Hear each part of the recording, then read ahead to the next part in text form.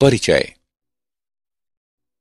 बच्चों, इस पाठ में आप मानव शरीर में रासायनिक समन्वय और एकीकरण के बारे में जानेंगे। क्या तुम्हें पता है कि हमारे आकार में कैसे वृद्धि होती है? वृद्धि एक बहुत जटिल प्रक्रम है, जिसमें अनेक हार्मोन्स की समन्वित क्रिया शामिल होती है। मुख्य रूप से वृद्धि हार्मोन्स शरीर की वृद्धि के प्रेरण के लिए जिम्मेदार होते हैं। जो पीयूष ग्रंथि द्वारा मुक्त किए जाते हैं। वृद्धि हार्मोन प्रोटीन, लिपिड और कार्बोहाइड्रेट के उपापचय पर महत्वपूर्ण प्रभाव डालते हैं। वृद्धि हार्मोन का उत्पादन, तनाव, व्यायाम, पोषण, निद्रा आदि जैसे अनेक कारकों पर निर्भर करता है। शरीर के भीतर कई और हार्मोन भी स्रावित किए जाते हैं, जो विशिष्ट कार्य करते हैं, जैसे कि थायराइड ग्रंथि से स्रावित होने वाला कैल्सिटोनिन हार्मोन रुधिर में कैल्शियम स्तर को नियंत्रित करता है।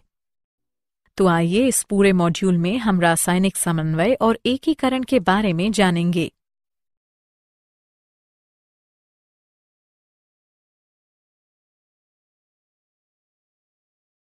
उद्देश्य। इस पाठ के अंत में आप निम्न करने में सक्षम हो जाएँगे। अंतःस्रावी ग्रंथियों तथा हॉर्मोन्स का वर्णन करना। मानव अंतःस्रावी तंत्र की व्याख्या करना। हृदय वृक और जठर आंतरीय पथ के हार्मोन की चर्चा करना। हार्मोन क्रिया की क्रियाविधि का वर्णन करना।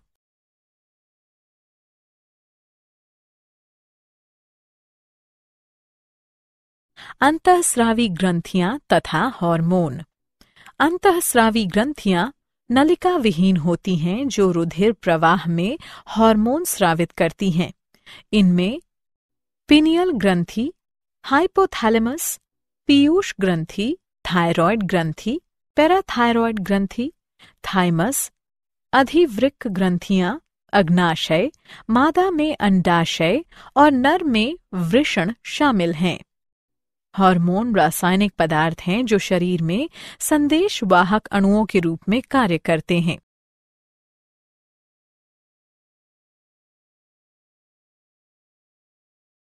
मानव अंतःस्रावी तंत्र। मानव अंतःस्रावी तंत्र हार्मोन के कार्यों द्वारा शरीर की अनेक प्रक्रियाओं को बदल देता है।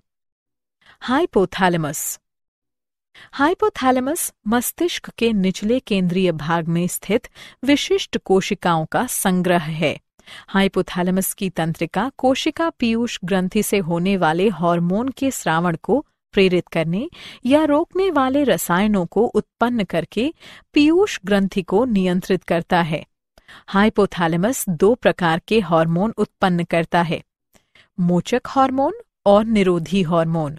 उदाहरण के लिए हाइपोथैलेमस से निकलने वाला गुनाडोट्रोफिन मुक्तकारी हार्मोन गुनाडोट्रोफिन के स्राव को प्रेरित करता है, जबकि हाइपोथैलेमस से निकलने वाला सोमैटोस्टेटिन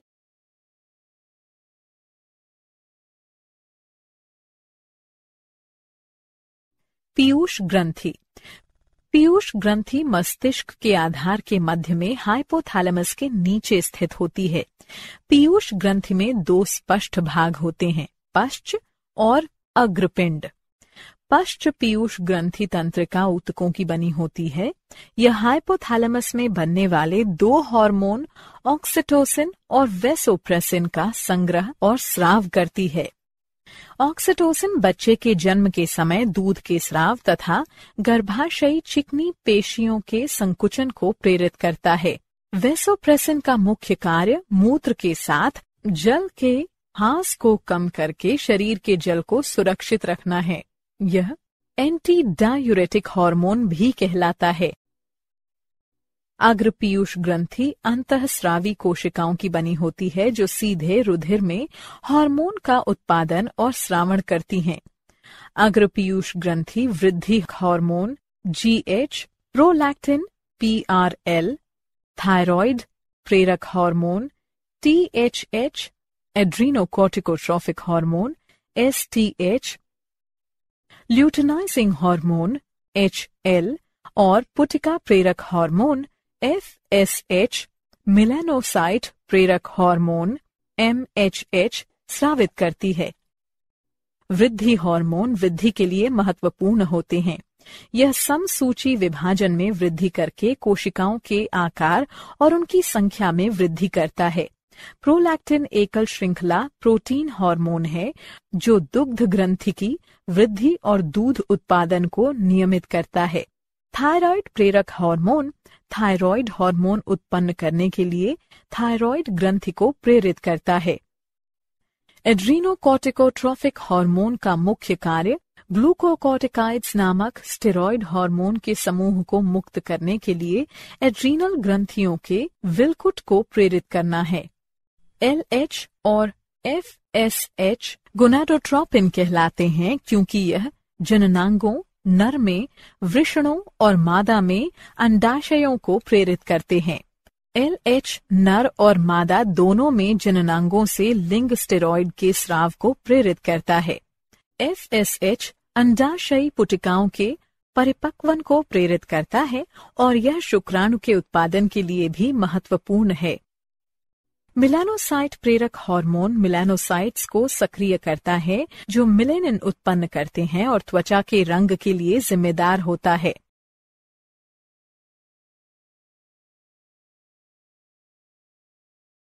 पीनियल ग्रंथि। पीनियल ग्रंथि प्रमस्तिष्क गोलार्ध के बीच स्थित होती है। यह मेलेटोनिन उत्पन्न करती है, जो लैंगिक विकास और सोने जागने के चक्र को प्रेरित करता है।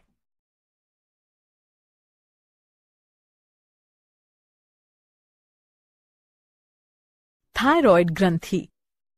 थायराइड ग्रंथि ग्रीवा में स्थित होती है, जिससे उत्पन्न होने वाले हार्मोन उपापचय, ऊष्मा उत्पादन और रुधिर में कैल्शियम स्तर को नियंत्रित करते हैं।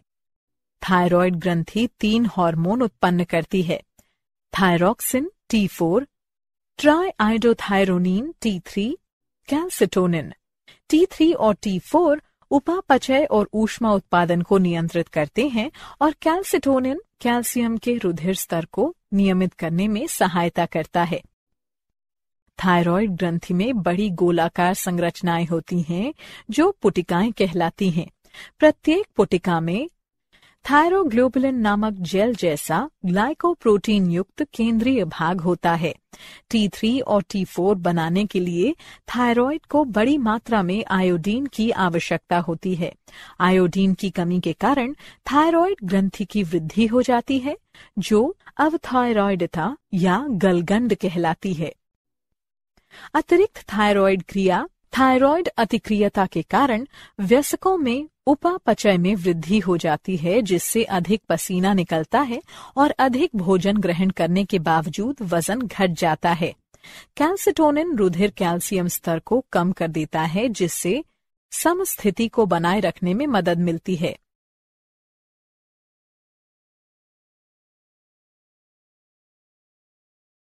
पैराथायरॉयड ग्रंथि। पैराथायरॉयड ग्रंथियाँ चार छोटी ऊतक ग्रंथिकाएँ होती हैं, जो थायरॉयड ग्रंथि की पश्च सतह पर उपस्थित होती हैं।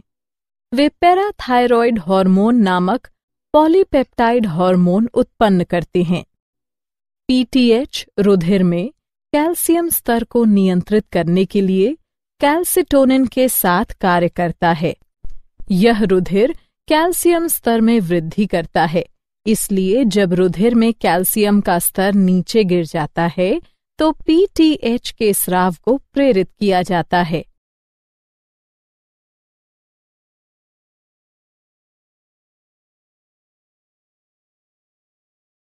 थाइमस। थाइमस ग्रंथि छाती के ऊपरी भाग में रोस्थी के पीछे स्थित होती है। यह पिरामिड के आकार की और दो पालियों की बनी होती है, जो शरीर की मध्य रेखा को अलग करती है। थाइमस ग्रंथि प्रतिरक्षा तंत्र का भाग बनाती है। यह थाइमोसिन हार्मोन स्रावित करती है, जो प्रतिरक्षा तंत्र को नियंत्रित करने में महत्वपूर्ण भूमिका निभाता है। यह टी लिम्फोसाइट्स की सहायता करता है।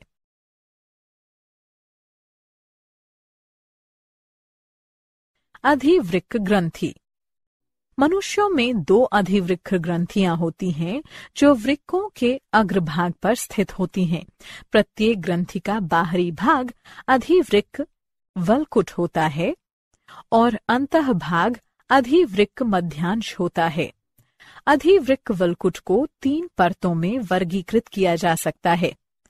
जोना रेटिकुलरिस यानी आंतरिक परत जोना फेसिक्यूलेटा मध्य परत जोना लोमेरुलोसा बाहरी परत अधिवृक्क वलकुट की कोशिकाएँ दो मुख्य प्रकार के स्टेरॉयड हार्मोन ग्लूकोकॉर्टिकॉइड और मिनरलोकॉर्टिकॉइड स्रावित करती हैं।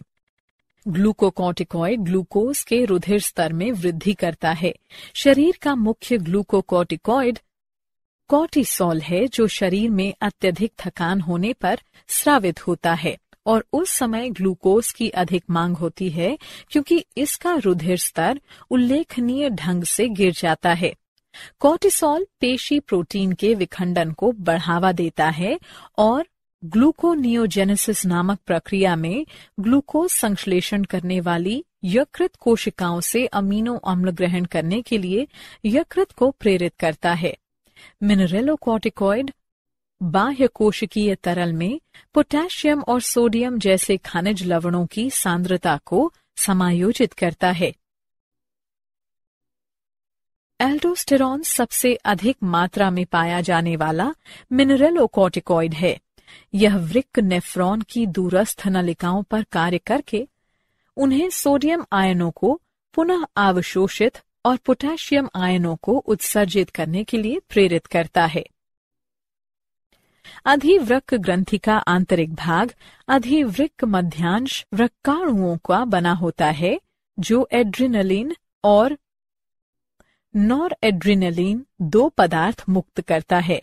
जब अधिवृक्क मध्यांश हार्मोन स्रावित करता है तो वो रुधिर परिसंचरण और शरीर में थकान होने पर कार्बोहाइड्रेट के उपयोग को नियंत्रित करते हैं।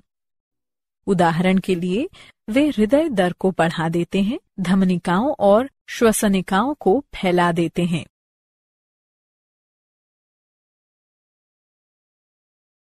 अग्नाशय।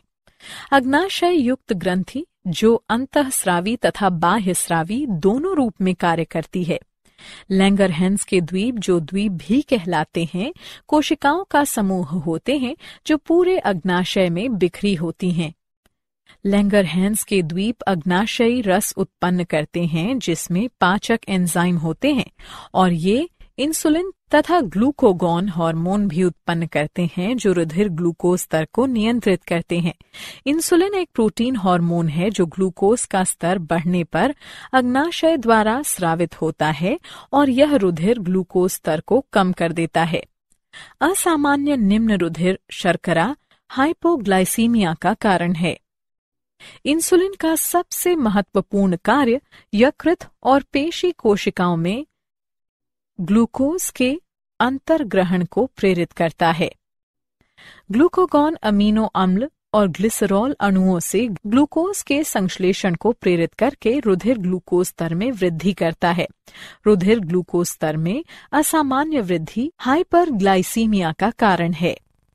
इंसुलिन का स्तर कम हो जाने से डायबिटीज़ मेलिटस बीमारी हो जाती है, जिससे रुधिर शर्करा स्तर में वृद्धि हो जाती है।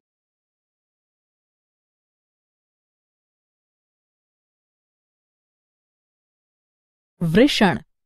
वृषण कोश में दो वृषण स्थित होते हैं। वृषण शुक्राणु उत्पन्न करते हैं। लेडिंग कोशिकाएँ टेस्टोस्टेरॉन उत्पन्न करती हैं। टेस्टोस्टेरॉन प्रोस्टेट ग्रंथि, शिश्न, यूरिथ्रा, अंडकोश, शुक्राशय, वृषण रज्जु आदि जैसे नर जनन अंगों के विकास, परिपक्वता और कार्य को नियंत्रित करता है। टेस्टोस्टेरॉन के प्रभावों में भारी आवाज़, शरीर पर बालों का बढ़ना, जननांगों की परिपक्वता, यौन रुचि, प्रजनन, स्तंभन कार्य और आत्मविश्वास में वृद्धि आदि शामिल हैं।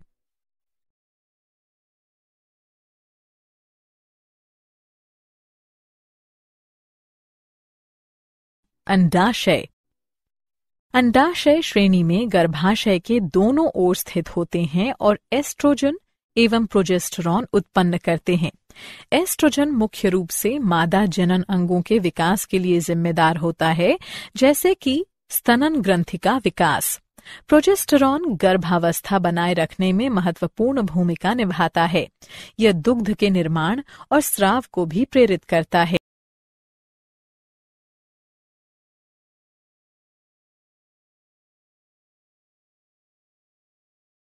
हृदय, वृक्क और जठर आंतरीय पथ के हार्मोन।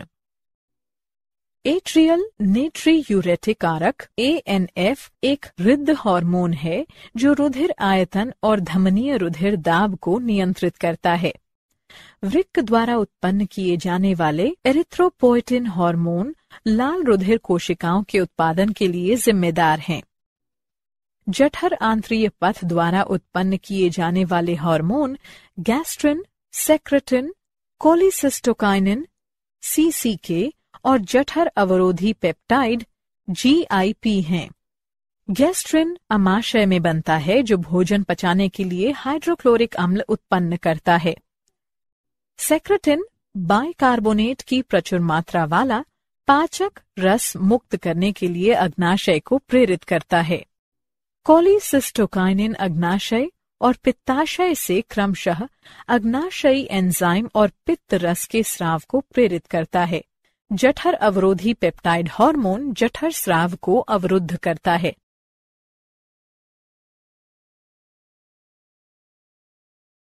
हार्मोन क्रिया की क्रियाविधि। हार्मोन शरीर के सभी अंगों में चक्कर लगाते हैं। लेकिन ये लक्ष्य कोशिका या लक्ष्य अंग कहलाने वाले केवल विशिष्ट ऊतक कोशिकाओं या अंगों को प्रभावित कर सकते हैं।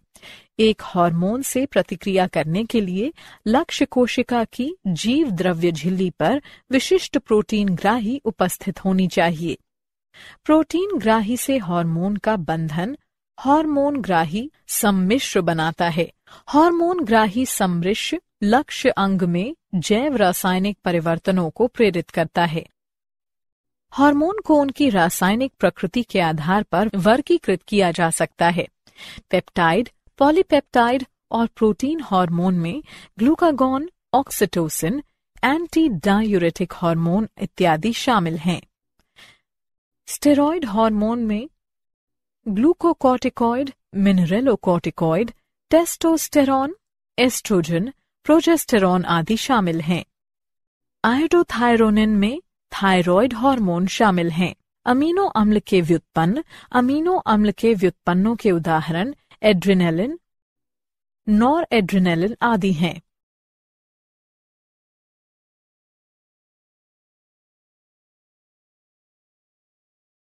क्या आप जानते हैं? अनुसंधान से पता चलता है कि मादा में एस्ट्रोजन का उच्च स्तर, स्तन, गर्भाशय और ग्रीवा के कैंसर का कारण हो सकता है। ऊष्मा शुक्राणु उत्पादन को कम कर सकती है।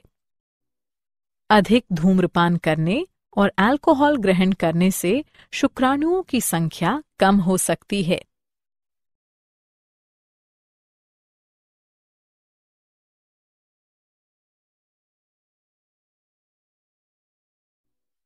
सारांश। आइए, हमने जो कुछ सीखा है, उसे संक्षेप में दोहराएँ। अंतःस्रावी ग्रंथियाँ नलिका विहीन होती हैं, जो रुधिर प्रवाह में हार्मोन स्रावित करती हैं। हार्मोन रासायनिक पदार्थ है, जो शरीर में संदेश वाहक अणुओं के रूप में कार्य करते हैं। अंतःस्रावी ग्रंथियाँ पिनियल ग्रंथि, हाइपोथैलेमस, पीयूष ग्रंथि, थायराइड ग्रंथि पैराथायरॉयड ग्रंथि थाइमस अधिवृक्क ग्रंथियाँ, अग्नाशय, मादा में अंडाशय और नर में वृषण हैं। हाइपोथैलेमस मस्तिष्क के निचले केंद्रीय भाग में स्थित होता है। पीयूष ग्रंथि मस्तिष्क के आधार के मध्य में हाइपोथैलेमस के नीचे स्थित होती है।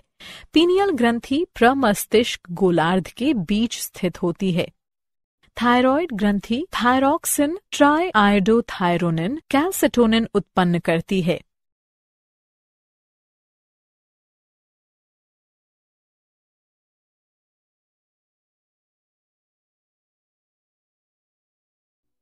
मानव शरीर में दो अधिवृक ग्रंथियाँ होती हैं जो वृक के अग्रभाग पर स्थित होती हैं। अग्नाशय, बहिस्रावी और अंतःस्रावी ग्रंथि के रूप में कार्य कर सकता है। टेस्टोस्टेरॉन नर जनन अंगों के विकास, परिपक्वता और कार्य को नियंत्रित करता है। एस्ट्रोजन मुख्य रूप से मादा जनन अंगों के विकास के लिए जिम्मेदार होता है। एट्रियल नेट्री यूरेटिक कारक एक हृद हार्मोन है। एरिथ्रोपोइटिन हार्मोन लाल रुधिर कोशिकाओं के उत्पादन के लिए जिम्मेदार है। जठर आंतरीय पथ द्वारा उत्पन्न किए जाने वाले हार्मोन गैस्ट्रिन, सेक्रेटिन, कोलिसिस्टोकाइनिन और जठर अवरोधी पेप्टाइड हैं।